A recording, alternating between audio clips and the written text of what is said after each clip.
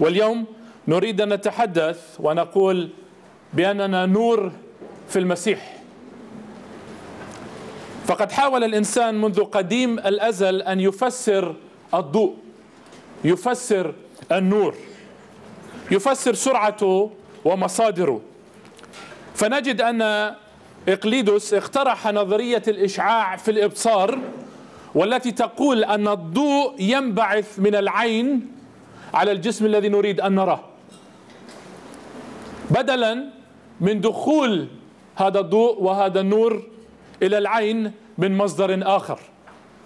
وكانت الاستنتاجات وقتها باستخدام هذه النظرية بأن للضوء سرعة وهي غير محددة. لأن الأجرام البعيدة هذه النجوم البعيدة تظهر فورا بمجرد أن نفتح أعيننا صحيح؟ وظلت تلك الأفكار متداولة حتى جاء عالم عربي اسمه ابن الهيثم وشرح فهم للضوء في كتابه المناظر والذي أوضح أن الأجسام هي من تبعث أو تعكس الضوء إلى العين العين هي من تتلقى هذا الضوء لكي ما ترى الأجسام.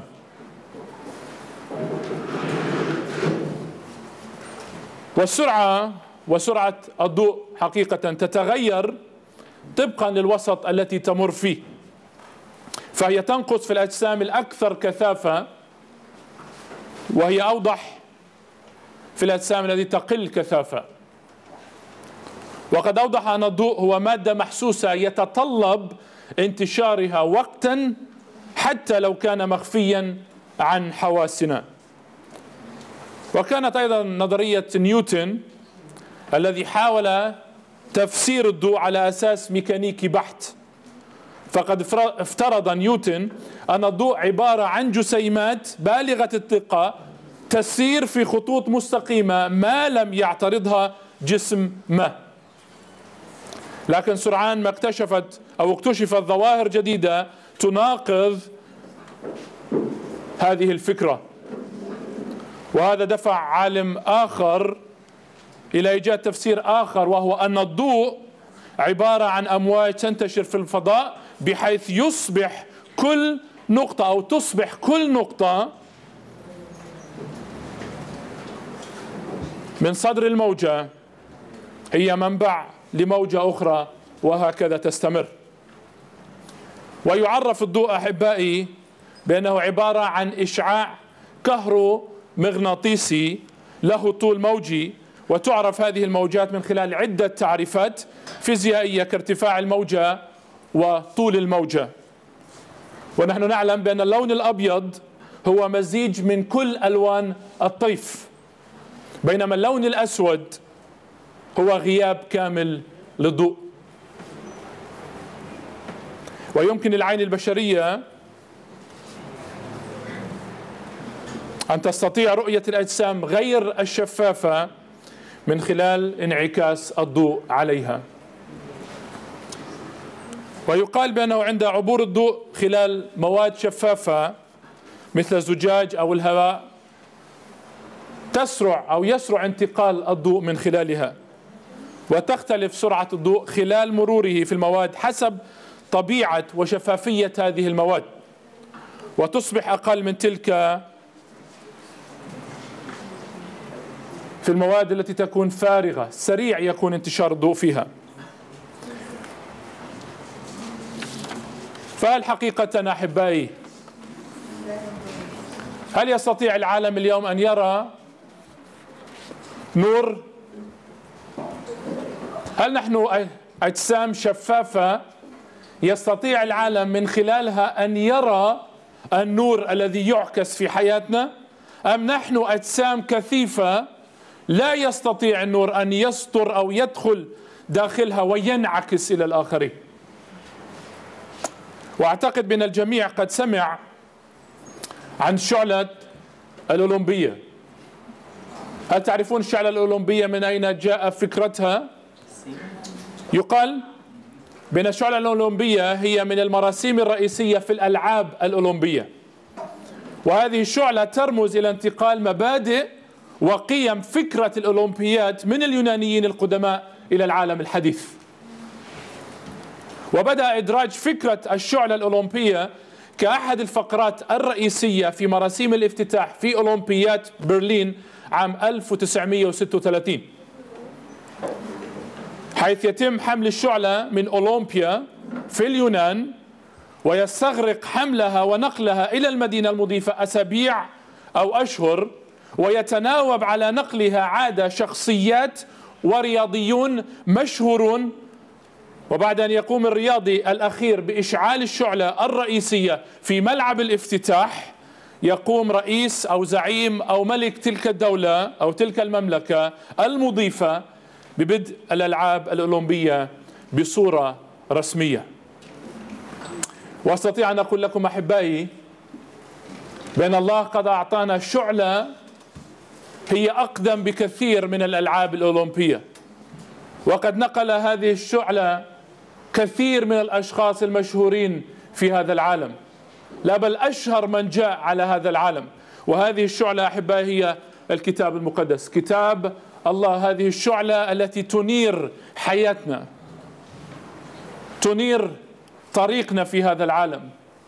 هذه الشعلة التي تعطينا الكثير في هذا العالم.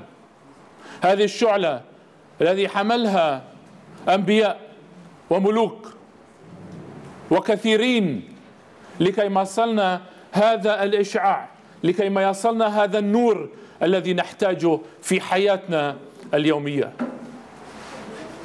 فالنور هو أمر مهم في الحياة. وقد خلقنا الله في هذا العالم حتى ما نكون أنوار. أنوار تنقل مبادئ وقيم إلهية لعالم يعيش بالظلمه قلنا بأن الشعلة الأولمبية تنقل مبادئ وقيم اللعبة من اليونانيين إلى العالم الحديث. والله يريد منا نحن كخليقته لكيما ننير في هذا العالم وننقل إلى هذا العالم مبادئ وقيم إلهية يحتاجها العالم اليوم. هل حقيقة حياتك هي نور يشع لمجد الله؟ هل حياتك حقيقة هي نور ينقل مبادئ إلهية ينقل مبادئ وقيم يحتاجها العالم اليوم. هل حياتك وحياتك وحياتي مشبعة بهذه القيم الإلهية التي يحتاجها العالم اليوم؟ لا بل نحتاجها نحن أنفسنا في هذا العالم. ويقول الكتاب المقدس لأن هكذا أوصانا الرب قد أقمتك نورا للأمم لتكون أنت خلاصا إلى أقاصي الأرض. الله قد أقام كل واحد فيكم أحبائي لكي ما يكون خلاص لكي ما يكون نور يشع مبادئ وقيم إلهية لهذا العالم الذي يعيش في ظلام. الله يريد منك لأن تكون نور. لماذا؟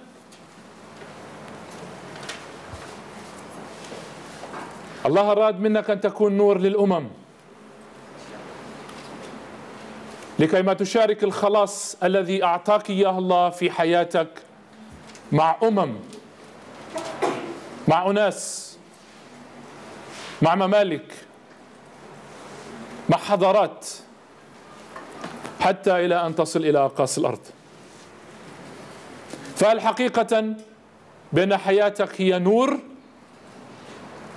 يعكس مبادئ إلهية يعكس المبادئ الإلهية القيمة التي يحتاجها العالم اليوم. ويقول أيضا الكتاب المقدس بان أجمل هذه المبادئ نحن نسميه بثمر الروح. هل نحن حقيقه ننقل إلى العالم ثمر الروح الذي هو محبة، فرح، سلام، طول اناء، لطف، صلاح، إيمان، وداعة، تعفف؟ العالم اليوم بحاجة إلى هذه المبادئ والقيم الإلهية. العالم اليوم يعيش في اضطراب يعيش في ظلمة. يحتاج هذا العالم الذي نعيش فيه اليوم لكي ما نعكس هذه المبادئ وهذه الصفات في حياتنا اليومية. الله يطلب منك ويطلب منك ويطلب مني لأن نعكس هذه المبادئ مبادئ المحبة مبادئ الفرح مبادئ السلام مبادئ طول الأنام مبادئ اللطف مبادئ الصلاح قيم الإيمان قيم الوداعة قيم التعفف إلى عالم يحتاج إلى هذه القيم وهذه المبادئ. والسؤال هل حقيقة يرى العالم هذه المبادئ في حياتك؟ هل يرى العالم هذه المبادئ في حياتي أنا؟ صلاتي لأن تكون هذه المبادئ وهذه القيم حاضرة وموجودة في حياة كل واحد فينا. صلاتي لأن ينير نوركم في هذا العالم ويعكس مبادئ جميلة إلى عالم حقيقة يحتضر يعيش في ظلام لم يرى مثله العالم من قبل.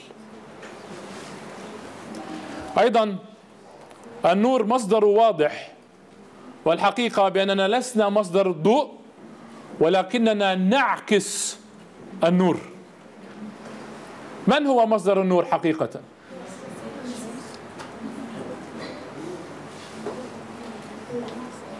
في المشروم وفي المنشور الضوئي يدخل الضوء أبيض ولكن ينعكس إلى أطياف الضوء كاملة. يدخل الضوء في مصدر واحد ولكن هذا الضوء داخل هذا الجسم يتشعب ويعطي أشياء كثيرة. الضوء لا يأتي من المنشور ولكنه يأتي من مصدر الضوء. والحقيقة الكتاب المقدس يقول ويقول الرب يسوع هذه الكلمات في يوحنا الإصحاح الثامن والعدد الثاني عشر. ثم كلمهم يسوع أيضا قائلا أنا هو نور العالم.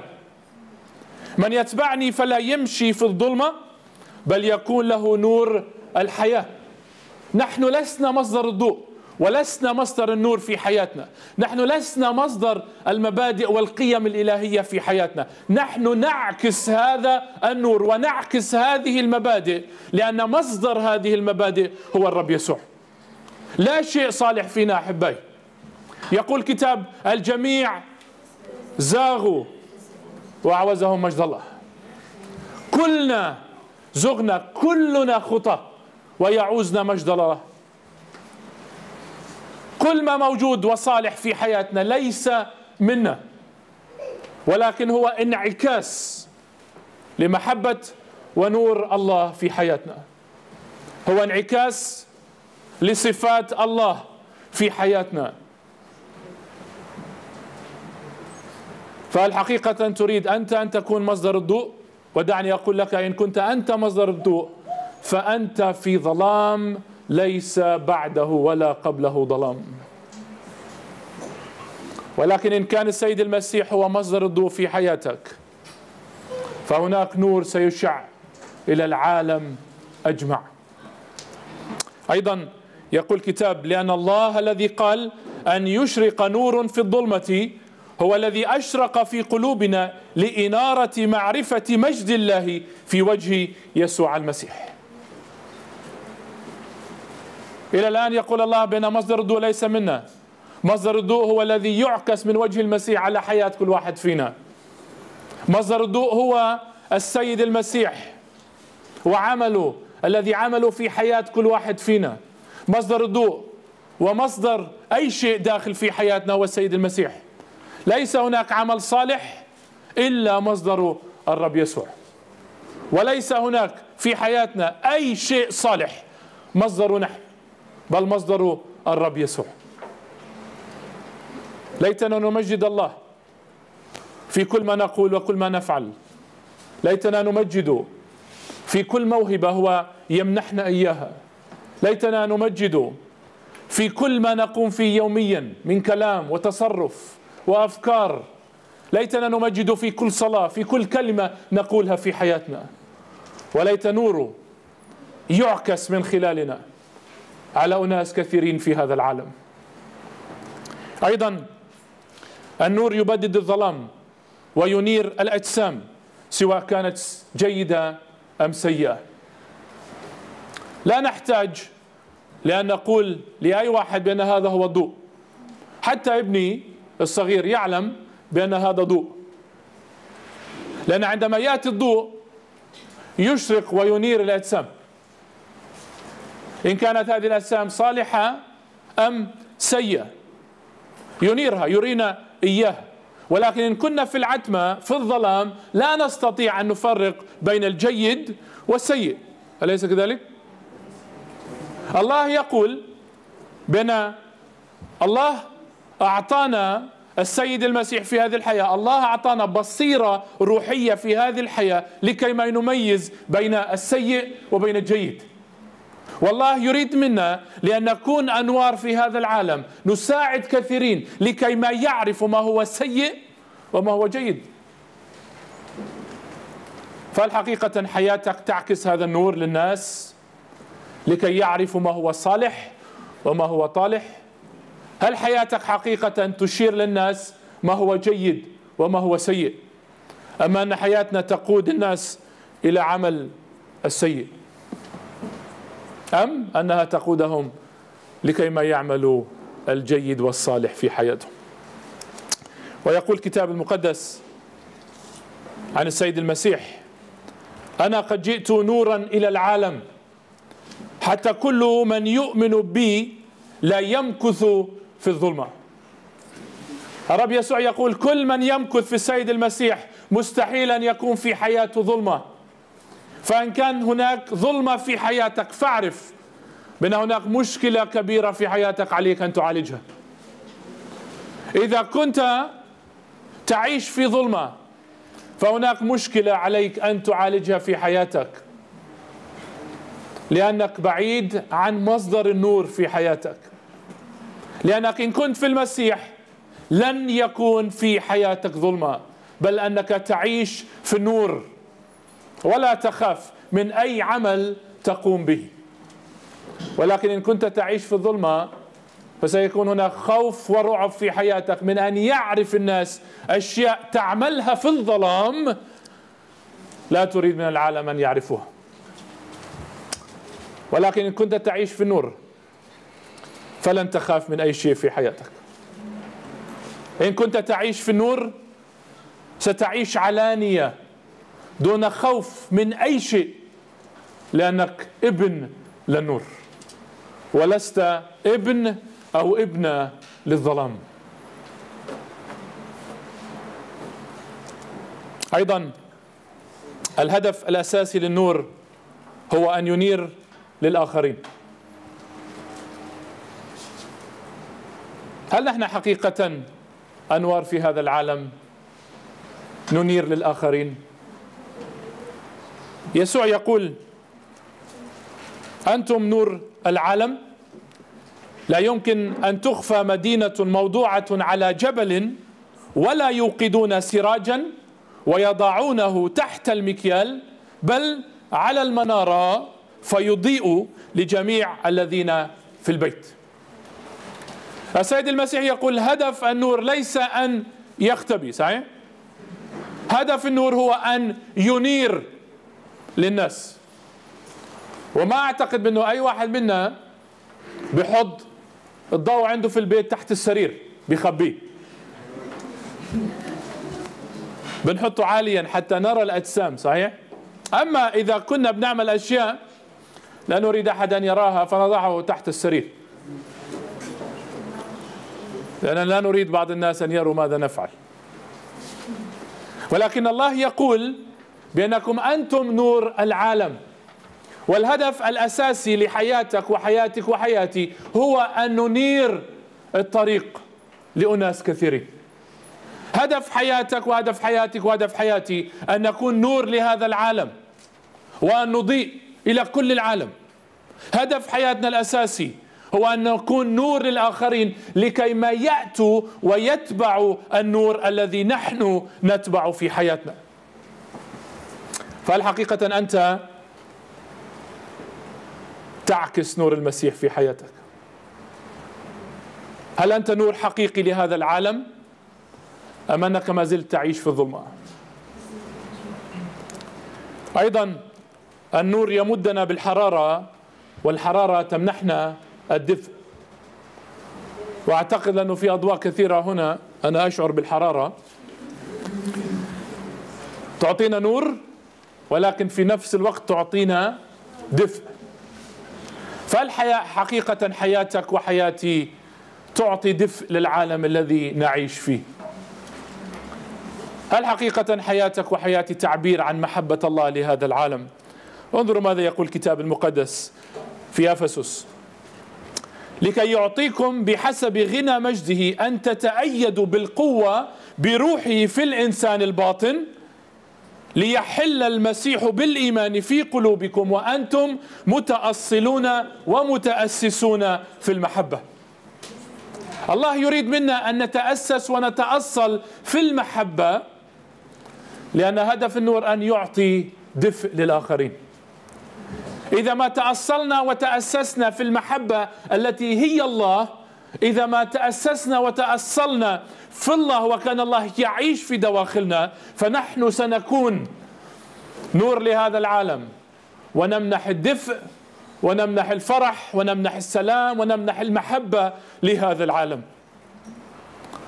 فالحقيقة حياتك وحياتي تعطي للناس الذين نعيش معهم الدفء؟ نشعرهم بمحبتنا بدفء المسيح بمحبة المسيح برعاية المسيح لكل واحد فيهم. أيضا النور رمز للتعليم والإرشاد والقيادة. الكتاب المقدس يقول سراج لرجلي كلامك ونور لسبيلي.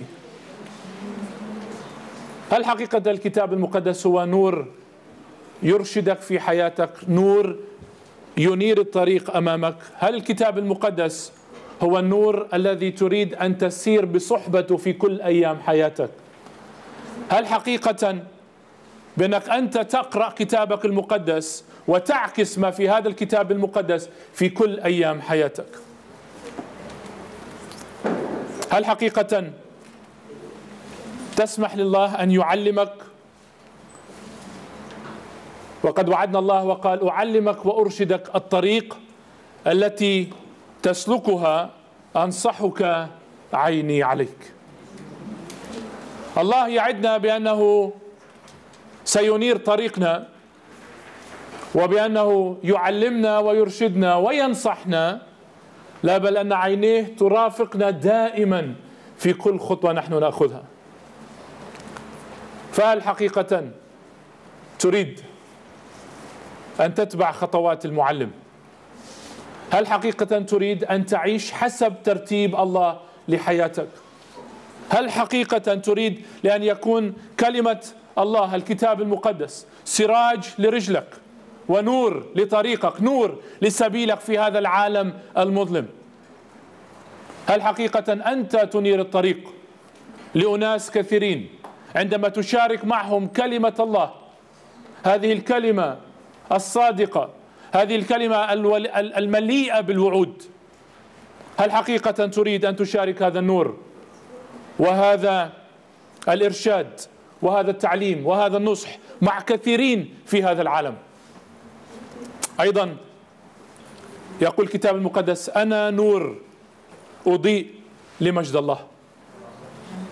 هل حقيقة أنت تضيء في هذا العالم لمجدك؟ كما أن هناك كثيرين في هذا العالم يريدون أن يضيئوا لأنفسهم.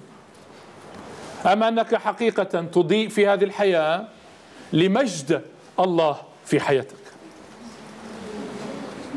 هل أنت تعيش لذاتك لشهواتك؟ أم أنك تعيش لله في هذه الحياة؟ الكتاب المقدس يقول فليضئ نوركم هكذا قدام الناس لكي يروا أعمالكم الحسنة ويمجدوا أباكم الذي في السماوات. عندما يرى الناس أعمالنا الحسنة لا نريدهم أن يمجدوا ذواتنا، لا نريد أن نمجد ذواتنا، لا نريد أن نمجد أنفسنا ولكن نريد أن نمجد الله في كل عمل صالح نقوم فيه في هذه الحياة. فهل حقيقة نورك يضيء في هذا العالم لمجد الله؟ هل أنت نور في هذا العالم يضيء لمجد الله في كل ما تقول في كل ما تفعل في كل ما تفكر؟ أحبائي علينا أن نكون في المسيح نور لهذا العالم. نور يضيء في الظلمة لأننا نعيش في عالم مظلم. والله يطلب منك ويطلب منك ويطلب مني لأن نكون نور لهذا العالم. أن نعكس صورة الله ومجد الله ومحبة الله ودفء الله لهذا العالم المضطرب. فليت صلاتك وصلاتك وصلاتي أن نكون أنوار تشع لمجد الله في هذا العالم. ليت مجد المسيح يشرق في عيوننا يشرق على وجوهنا يشرق في حياتنا حتى ما نعطيه دائما كل المجد. وليت الله يبارككم ويحفظكم وتنير دائما للمسيح في هذا العالم. Amém.